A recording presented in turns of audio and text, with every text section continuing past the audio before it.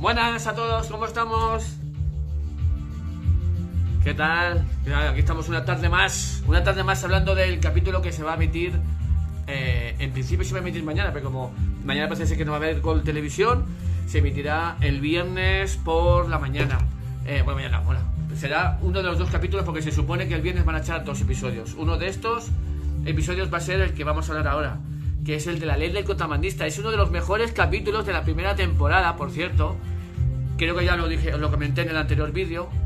Es eh, bueno, es uno de, de los vídeos de los dos capítulos o tres en los que se inspiró la película de 2006. La ley de contrabandista, una, un pedazo de capítulo eh, dirigido, creo que fue dirigido por Michael Glazer, fue el segundo episodio que dirigido por Michael Glazer, nuestro querido Starsky de Starsky Hatch, que ahora hablaremos un poco más de la serie y tal. Eh, quisiera, eh, antes de nada, agradecer a, un amigo que quiere permanecer en el anonimato y es que me ha regalado, eh, increíble regalo, de verdad, muchísimas gracias, ella sabe quién es. Es, el, es la serie en Blu-ray de la serie Nash Bridges, que yo la tenía ya en, en DVD, que me la cogí ya hace un par de añitos, pero aquí está la versión en, en Blu-ray que os puedo asegurar que no vale, no vale nada, no, no, no que valga poquito precisamente, no es que no valga nada, no, al revés, vale, vale mucho dinero. Bueno, ahora sí, ya sí, después del agradecimiento a este, a este amigo que quiere estar el anonimato, tú sabes que estás aquí, estás mirándome ahora. De verdad, tío, muchas gracias. Ha llegado, ya, ya ves que ha llegado, tío. Y muchísimas gracias, tío, de verdad. No sé qué decirte, tío, me he quedado sin palabras, de verdad. Sí, me ha llegado antes de lo que esperaba. Eh, la verdad que está súper chulo, la verdad que está guay. Son las seis temporadas de la serie Nash. Esta serie es Nash Bridges, es la serie que luego Don Johnson hizo entre el año 96 y el año 2001. Eh, que es parecido como Golf en Miami, solo que con Chin mira, aquí está aquí, aquí con el cochecito que lleva, cambia el Ferrari por un, aquí por el Barracuda, súper chulo, la verdad que está muy bien, la verdad está súper chulo. Y nada, eh, si se canta Nash, bueno, vaya que esto, esto es zona, C, es zona 1, tenéis que tener un Blu-ray con sistema de CC de zona 1, si no, no lo vais a poder reproducir. Yo como tengo tengo, tengo dos Blu-rays, dos aparatos de Blu-ray con las dos zonas, la puedo ver en las dos zonas. Bueno, ahora sí, ya nos sentamos ya en, la, en el capítulo de hoy, la ley de contrabandista. eh, un capítulo que se emitió, se emitió en el año uh, 86, bueno, ya sabes que aquí en España se emitió en el año 86, pero en Estados Unidos se emitió el 1 de febrero del 85. Aquí en España, pues, eh, se emitió el 28 de julio del 86 a eso de las 10 y cuarto, 10 y 20 de la noche. Y para prueba de ello, ya sabéis que ya tenemos que situar las televisionetas. Nos faltan solo cuatro nada más. Solo nos faltan cuatro números por conseguir. A ver si tenemos un poco de suerte, las conseguimos. Pero bueno, ahora mismo hasta ahora todavía podemos todavía enseñaros todo. Esta es la revista de Teledigital que en aquel momento salió en los kioscos cuando la serie se estaba emitiendo. Cuando esta es la, de este número en la que esa semana se emitía la ley de contrabandista. Que por cierto, un número en el que eh, bueno, eh, estaba ya, iba a ser, iba a ser luego, iba a ser el número anterior, luego a una, a luego una colección que salió de seis fascículos con la vida de Don Johnson. Lo veremos luego en el siguiente capítulo. En la siguiente tarjeta ya se, ve, se verá el primer número de esta colección. Y bueno, pues aquí os enseño la hojita correspondiente con el capítulo. Ahí lo tenéis. Ahí lo tengo. Lo tengo aquí sin hacer con el dedito. Ahí está. No sé si la luz os va a molestar un poquito. Ahí está, corrupción en Miami. La ley de contrabandista. El Smuggler Blues. Aquí es donde salía el grandioso, grandísimo cantante de los Eagles. Bueno, en ese momento era cantante de los Eagles. Eh, que luego se hizo muy buen amigo de Don Johnson. Es más, luego salió también en Nash. En Nash, en uno de estos. En, en, un, en capítulo de Nash aparece también luego él. Eh, Don Johnson lo invitó. Al igual que también invitó a otros muchos actores que habían aparecido en Miami Vice. También fue uno de ellos de los que a los que invitó para que apareciera para que apareciera en la serie. El gran Glenn Frey, el gran Glenn Frey, dejase en paz, que se nos fue hace un par de añitos este hombre. Bueno, pues como os he dicho eso, pues se estrenó el 1 de febrero del 85 en Estados Unidos. Eh, el guionista de este el, el, guionista de este de este capítulo es muy curioso porque según creo o según cuentan por ahí es Miguel Piñero. Miguel Piñero, si no recuerdo mal, era el actor que hacía de Calderón en el capítulo piloto. Y que luego, luego, luego volvería a aparecer luego también en el versión de Calderón segunda parte. Y bla bla bla. Eh, el guion es de. Y eh, como hemos dicho, el, director fue Paul Michael Grazer. Ya el segundo episodio que dirige Paul Michael Grazer, porque que si no recuerdo mal, precisamente el del Calderón también lo dirigió, lo dirigió él. Luego no sería el último que dirigía un capítulo. Luego el señor Paul Michael Grace fue cuando dirigió el que es para mí mi capítulo favorito, que es el de Nueva York, ¿no? El primero de la segunda temporada. Eh, estáis invitadas por Richard Jenkins, eh, Jamie Lee Sánchez, Rita Edison, eh, Ron Ballen y Glenn Frey. El Glenn Frey es, es aparte de eh, Glenn Frey escribió una canción, el Smoke Blues, que por cierto está incluido en el, en el disco de Miami Vice, lo, lo, tenéis incluido.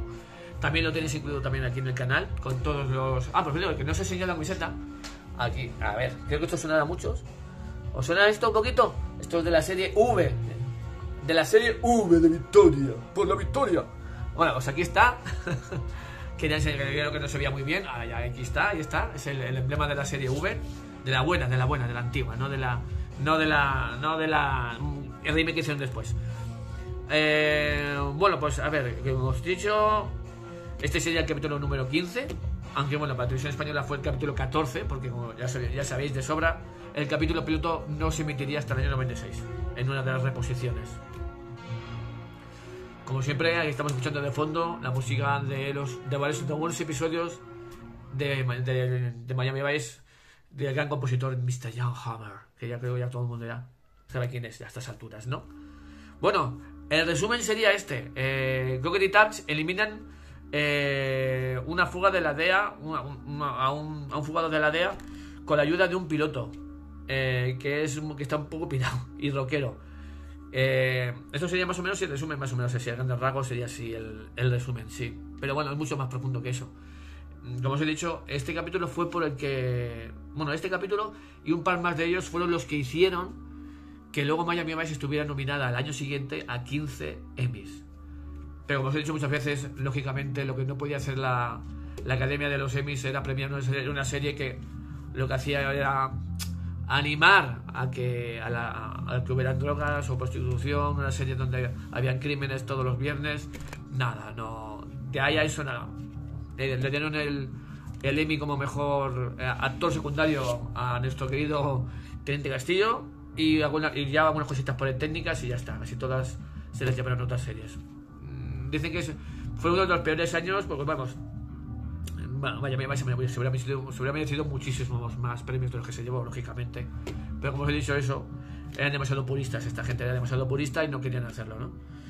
Bueno, vamos a por las curiosidades del episodio. Eh...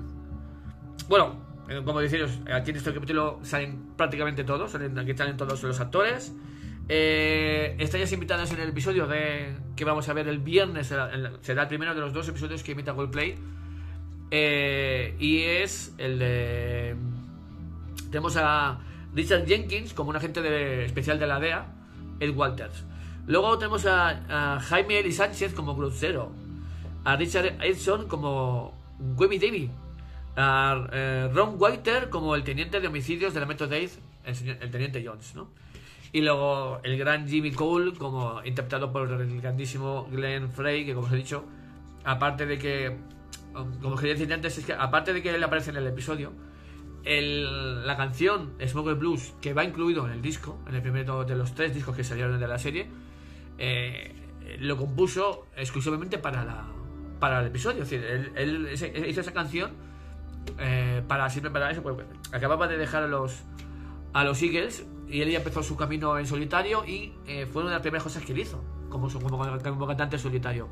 Fue componer este tema que únicamente se hizo por y para la serie. Es verdad que luego sí que se editó, se editó en, en, en, su disco, en un disco que luego sacó, y aparte también se podía escuchar, como os he dicho antes, en el, en el primero de los tres discos del año. Y el disco del año, si no recuerdo mal, creo que fue del año 85 o 86, no estoy seguro, creo que fue 86. A ver, el primer disco creo que fue en el 85, el segundo fue en el 86, y luego en el, en el 88 fue cuando salió el tercer disco. Pero vamos, fue a finales del 85 cuando salió el disco con este, con este tema, entre otros. Bueno, pues eh, otros actores que aparecen por allí, pues eh, Cotumundi como Tucker Smith, John García como el teniente de, de la policía de Cartagena, John Girard como Bruce, eh, Raúl Martínez como Roberto Morales y Nelson Oramas como Sam, el especialista del escuadrón antibombas de, de la agencia virtual. Este hombre, este, este actor, el del Soloramas, es un es un actor que luego ya que luego había aparecido también como secundario en otros capítulos y tal, pero aquí como que se le dio un poquito más de importancia, ¿no?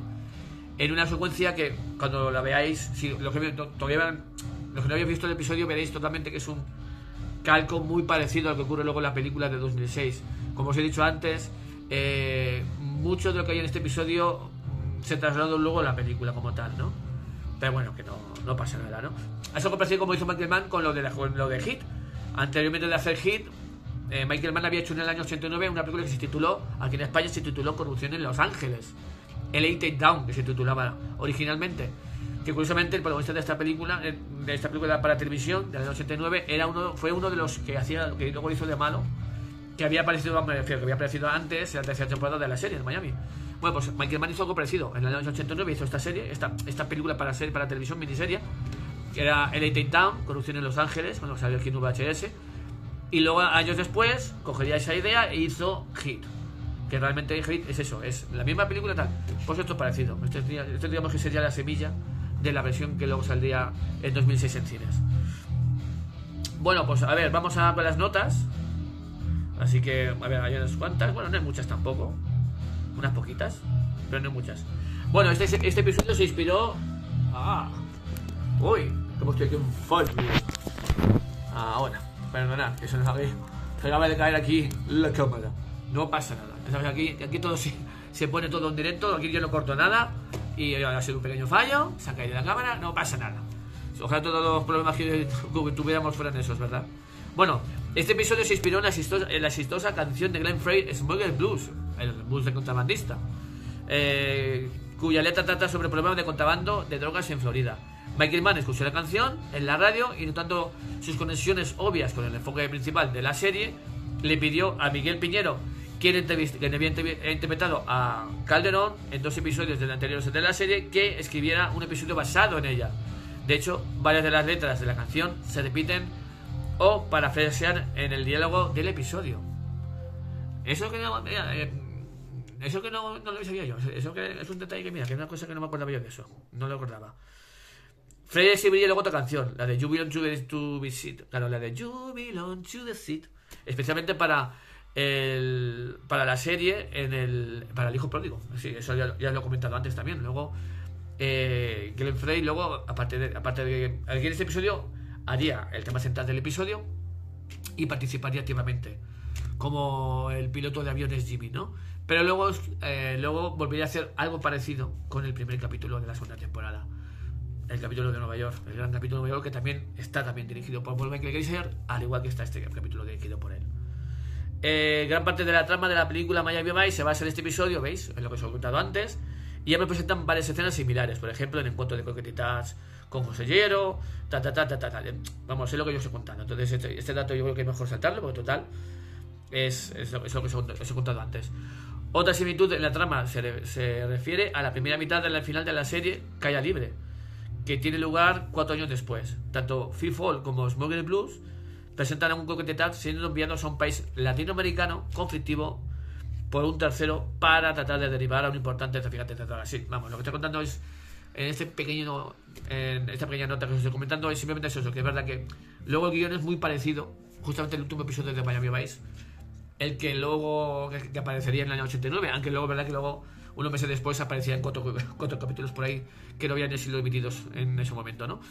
Eh, realmente mm, son dos, son dos, el episodio final como este, tienen muchos parecidos o tal, bueno, no pasa nada. bueno, a partir de este episodio, el título del episodio, los créditos de apertura aparecerían cerca de la parte inferior de la pantalla y seguirían así hasta la mitad de la tercera. Vamos, el título del, el título del capítulo, en vez de aparecer aquí en medio, aparecería un poquito más abajo. ¿De acuerdo? Es lo que tampoco. Un tema recurrente en la serie es la presencia de filtraciones policiales que ayudan a los narcotraficantes eh, a poder eh, salir airosos de sus, de, sus operaciones. Eso sí que es verdad. Eso es algo que ya se sabe también. Eso es una cosa que tampoco haría falta tampoco contarlo. Se puede escuchar luego una versión acústica del Smoker Blues, del tema de Glenn Frey, eh, en el momento del final del, al final del episodio, más o menos. Sí, ¿verdad? Luego hay una versión acústica que, que esa versión acústica no existe como tal, no está editada en ningún disco. Eh, para poder tenerla hay que, hay que simplemente sacar hay que sacar el audio directamente del capítulo porque realmente esa vez una acústica que está muy chula. Por cierto, ya la vi en ese momento cuando veas el capítulo. Está bastante chula. Y luego, pues eso, como tal, pues. Eh, eso es muy, más cortita y muy chula, como parece como una versión plug. Y está muy chula. Ya, cuando la veas, ya está. Entonces, bueno, si, de todas maneras creo que está. si pones en YouTube y tal, ves una acústica de Game Miami Vice, tal. Seguro que eso parece seguro, ¿no? Eh, la capota del coche de Ricardo, el, este, el, Cadillac Coupe de Bill, eh, se ve levantada durante este episodio unas pocas veces. Eh, sí, bueno, pues eso, que es, de las poquitas veces que, que, realmente en el episodio aparecería el coche de Ricardo con la capota puesta. Eh, más raro todavía fue ver el, el, coche de Sony con la capota puesta. Es decir, si no recuerdo mal, solo hay un episodio de Corrupción en Miami en el que se ve el Daytona con el capó puesto. Yo recuerde, que yo recuerde solo hay un episodio nada más. A ver, si, a ver si alguien antes de que aparezca ese episodio me lo dice. Luego, a ver, que se da por ver. Perdón. A ver, estoy un poco constipado, perdonadme. Uh... Vale. Bueno, yo creo que desde este principio creo que hemos contado todo ya. Eh, yo creo que hemos contado todo al principio. Sí, estaba aquí haciendo un pequeño resumen por todo y no, no, bueno. Bueno, eh, Piratas de Fondos Fiduciarios. Esto es un capítulo. El capítulo de Piratas, de, el capítulo de Trans Fan Pirates de la segunda temporada iba a ser una secuela directa de este episodio. Pero Glenn Frey no estaba disponible para repetir su papel de Jimmy. En consecuencia, el guion se cambió un poquito para presentar a otro contrabandista que era amigo de él. Es verdad, sí. Eh, podemos decir que la historia del capítulo de este episodio eh, luego continuaría con el último episodio de la segunda temporada. Eh, Piratas con fondos fiduciarios, creo que se, titulaba aquí en España, se titula así, ¿no? Y es verdad que sí, esta, la historia realmente continúa, ¿no? Querían hacer una especie de continuación y tal, pero es eso, pues eso, estaría haciendo algún tipo de concierto, estaría ocupado, lo que sea, y no puedo hacer nada. Nelson Oramas regresaría como un experto en bombas en el episodio de la temporada 2 eh, hijos y amantes. Aunque personajes no se nombran en este episodio, por la similitud de sus roles se supone que es el mismo individuo. Eh, bueno, sí, verdad, también es verdad. aparecería luego después intentando luego desactivar una bomba en un coche. Y sí, sí, sí. Luego está todo volvería a aparecer luego ahí como un, un personaje muy importante, ¿no? En algunos lanzamientos en DVD, la calidad visual de este episodio es mucho más granulosa y envejecida que el resto de otros episodios de la temporada 1. La razón de esto es desconocida. pues ya, mm, que yo recuerde, creo que los DVDs aquí en España más o menos se ven igual. Supongo que esto, sería una nota refiriéndose a los DVDs de la, de la versión americana, digo yo. El yate que, que, vuela por los aires en la secuencia de apertura pertenecía a la actriz Betty Davis, llamado el Árbol de Navidad. Sería Christmas árbol o así, yo qué sé. Bueno, David usó una vez el barco, el barco con casco de madera de los 83 pies, ta, ta, ta, y el momento de destrucción estaba, estaba en el puerto. Oh. Dice que el, barco que utilizaron era de una, de, una tez importante, de Betty Davis, ¿no? Eh, uh, uh, uh, qué fuerte. Bueno, bueno, pues nada. Y este episodio presenta a, uno de los raros viajes de Crockett fuera de, de Miami. Sí, bueno, hay capítulos en los que el personaje de, Sony y de Ricardo tienen que viajar fuera de Miami. Vamos, el mismo capítulo que luego Paul Michael Kay se volvió a dirigir, se tienen que ir a Nueva York. Y como en esto, varias veces más. Eh, tuvieron que irse luego varias veces, más. Luego Sony tiene que volver a, Los Ángeles. Nueva York luego, luego Nueva York vuelve a aparecer otra vez en más capítulos. Eh, luego cuando tienen que irse a Costa, a Costa Morada en el último episodio. Bueno, eso seguro que tampoco es demasiado importante. Bueno, Vamos ya con la sección final, que es la, la de nuestra producción. Fue filmado entre el 12 de diciembre y el 11 de enero. Es decir, excepto, supongo que por la época estival, que eran las navidades, pues tuvo que tardar un poquito más en grabarse, ¿no? bueno. Tenemos cinco zonas de, grabación. Bueno, se hubieron varias zonas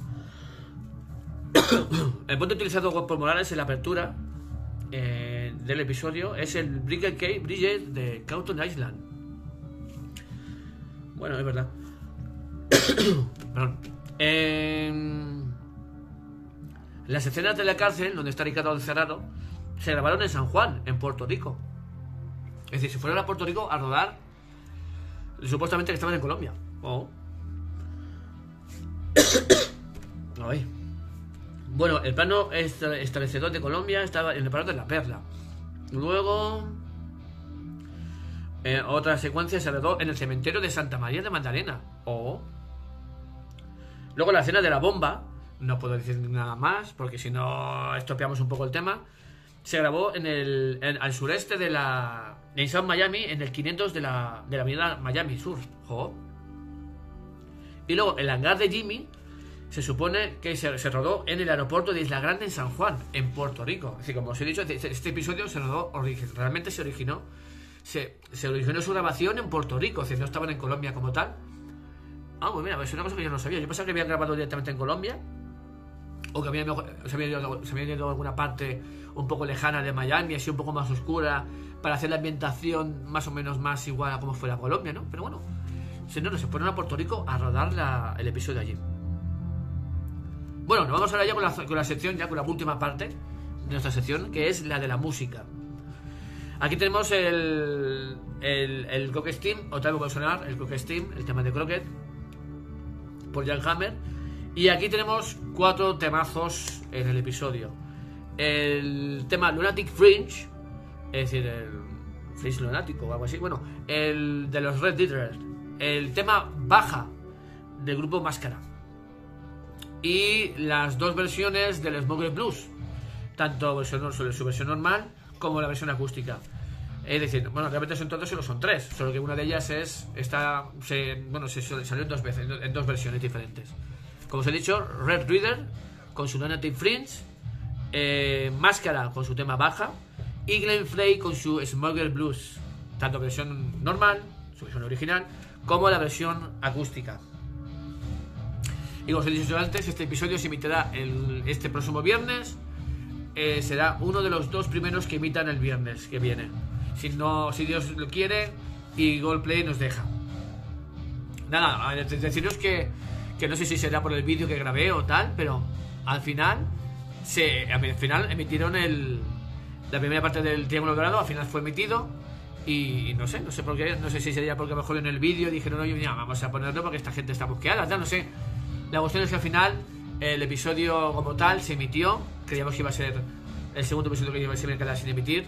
Eso sí, como os dije en el vídeo, no me arrepiento de lo que dije, porque ya simplemente con la putada que nos hicieron con el con la segunda parte del piloto, que no lo emitieron, creo que esas palabras que dije no, no cambian demasiado tampoco el, el tema. Como os dije, si no emitieran ese, si no emitían ese, ese capítulo, serían muy estúpidos.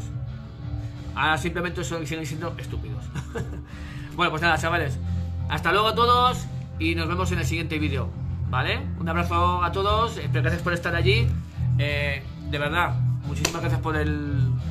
Aquí por el pack del señor Nash Ditches, del señor Don Johnson. Eh, una serie que os recomiendo, que es en inglés. Aquí en España solo podemos ver las 22 primeras temporadas por Tele5. Pero bueno, es lo que hay. Así que nada.